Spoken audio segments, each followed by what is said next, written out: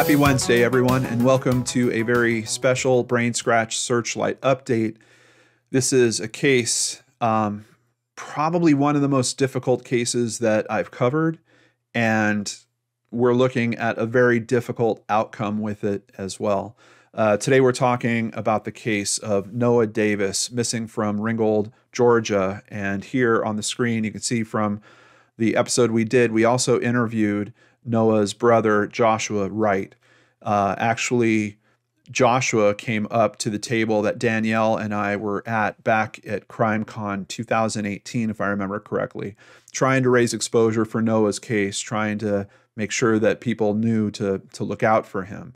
Uh, and we took a bit of an interesting approach with it. Uh, we had Danelle do kind of the traditional coverage, go through the media, look into all that. There was a lot of high drama, let's just say, uh, in the online community around this case. And we wanted to try to address that in some way as well. So I kind of opened myself up to listening to some of the online chatter that was going on and then using that to put my interview together with his brother Joshua because there was a, there was a lot of critics out there, a lot of different theories as we're going to hear from today's update. Um, there was just stories all over the place. I've, I've never to this day seen another case where the social chatter was so crazy. I mean, I guess if maybe if you look at the Summer Wells case, maybe that's the the level we're finally seeing uh, hit with that one. But terrible update. Noah's remains have been found they were actually found a little bit of time ago, and there seems like there was an impact from COVID as well. So let's go ahead and get to the articles and, and see what's happened here. Georgia man's remains found. This is over at WVLT.tv. Catoosa County Sheriff Gary Sisk said Noah Brandon Davis's remains were found in an undeveloped remote area in October 2019. Sisk said the remains and location did not provide any clues about how Davis of Ringgold died. That's one of the things that we're always concerned about um, when we hear about remains being discovered, especially this far after the disappearance. I mean, we're talking five years after uh, he disappeared, his remains were found. What state are they in at that point? How much material is there to, to be analyzed? Um, looks like not much. And then, of course, the location itself. Does that speak to anything about what might have happened to him? The only thing I understand on the location is, from what I'm hearing, it seems like it was a couple miles away from uh, where he was living at the time. Back to a quote from the sheriff I thank our investigators and dozens of law enforcement officers with partnering agencies for their tireless efforts to bring some closure to this challenging case, Sisk said. Together, we have pursued countless leads, conducted interviews with 41 people, searched thousands of acres in northwest Georgia and southeast Tennessee, and spent more than 100,000 hours working this investigation day and night. Investigators said those interviews that they conducted revealed conflicting stories that ended up being proven false or couldn't be verified. Um, pretty similar experience that I was having as I was trying to dive into some of the social media static around this case and then running into information where it was like, oh, well, we can discount that. Like we've literally got a piece of paper here that proves this person couldn't have been there. Um, obviously, if I was running into that, investigators were dealing with it 10 times worse. After Davis's remains were found, they were sent to the North Texas State University Anthropology Department for DNA analysis. Investigators received confirmation from NTSU on June 9th that the remains were Davis.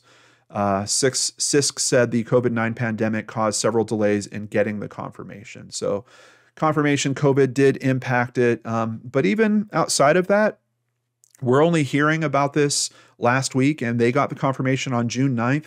Seems like it's just been a very measured response in terms of having this information come out.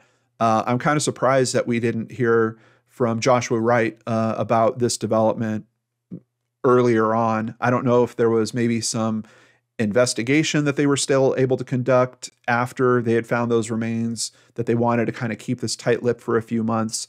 Um, I have a feeling there's some other consideration like that that might have been going on around this, but one way or another, here we are, and, and we did find out. Noah Davis's half brother says the family is relieved to know Noah's remains were found, but they still have no answers.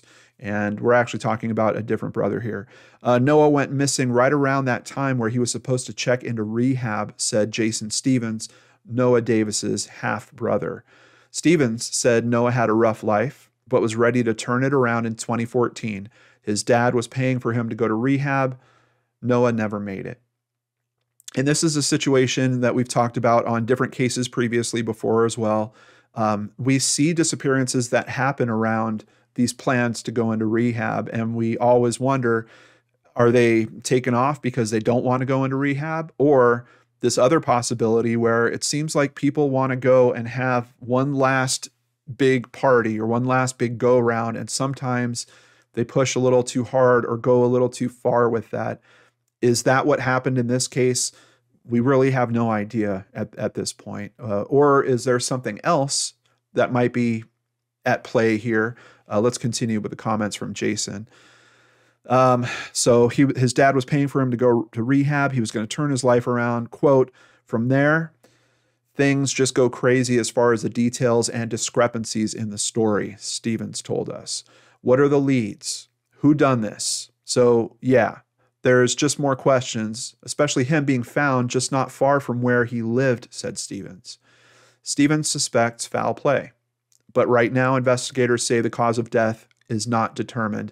My gut tells me that somebody close to him, very close, is responsible for it, he told us. Another thing that just kind of tickles through my brain that I'm wondering about with this case as well if there is some possibility that this was an overdose situation was he with a group of people? And then they didn't want to get in trouble. And there's some aspect of moving him taking his body to a different location or, or something like that. Uh, from what i understand in most states there would probably be criminal charges around that as well. Um, or is it as bad as his half brother here is saying? Does he think that someone literally um, is, is there a possibility someone literally took his life the Catoosa County Sheriff's Office says the cause of death is not determined right now. They're still investigating. If you know anything, call them at 706 935 2424. And of course, I'll have that number in the description box down below as well. Now, what about Joshua? Um, we had him here on the channel. Uh, very tough interview, of course. We're talking about his missing brother, but outside of that, a little bit of social backlash that kind of happened around Joshua as well. We get some quotes from him here at WDEF. I miss my older brother, but now there's nothing I can do anymore, says Joshua Wright. You almost get used to dealing with something for over periods and periods of long it's been. It's been so hard, you almost go into autopilot to deal with it. I felt a huge weight coming off my shoulders, but it did break me, says Joshua. Noah's brother Joshua says he's not only heartbroken for himself, but his daughter, who remembers her uncle, and his mother, who never stopped looking for Noah before she passed. He loved being an uncle too. So we used to go swimming a lot. And that day is what we did. Me, him, and my daughter, Michaela, we went swimming. There's a little video clip, one or two of them. He would repeatedly hurt himself off the diving board just to make her laugh, continues Joshua. Of course, my heart goes out to all the family affected by this, and it's terrible to think that Noah's mother would pass. I believe she passed in 2016 without ever knowing uh, what happened to him. But as a matter of fact, we've got his other family members that still don't know what happened to him. They've got one question answered. I hope they could find some level of comfort in being able to bring Noah home, have a proper memorial, um, put him to rest properly. But as we can see from these articles, they are strapped with new questions now. And suspicions that are as old as this disappearance is. It really doesn't change a whole lot in terms of the considerations, all the noise, all the different stories. Is one of those true? I don't know. And is the investigation going to continue on that front? Um, if there's any other updates, I'll let you know about it. I, I don't know what they're going to do. They might leave this in kind of an undetermined state that necessarily wouldn't call for a criminal investigation. So I really don't know. I don't know how much work goes into it from this point forward, but I know that that family is going to have to do uh, the work of carrying this, and um, it just it really it's a really tough thing to think about that they their reality that they've been dealing with since 2014 despite the fact that he's been found most of that reality still stays in play those brothers still wondering if they should be searching for justice and in Josh's case looking for it so anyway that's the update on it um, please join me again on Friday for a brand new case right here on the LordanARTS channel.